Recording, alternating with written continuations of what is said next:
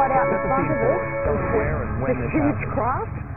Now, I want to show you also some amazing pictures that uh, people here sent to our station, scenes of the uh, balloon accident.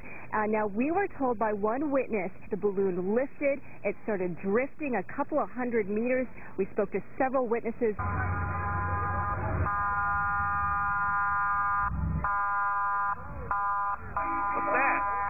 Something went horribly wrong during pre-flight instructions.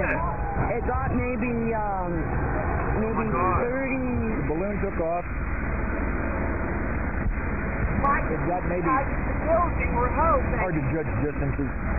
Anywhere from 15 to 25. We went running out and we saw the balloon in the air. We know the company is called Balloon Charters. We've been told they do have an accident-free record.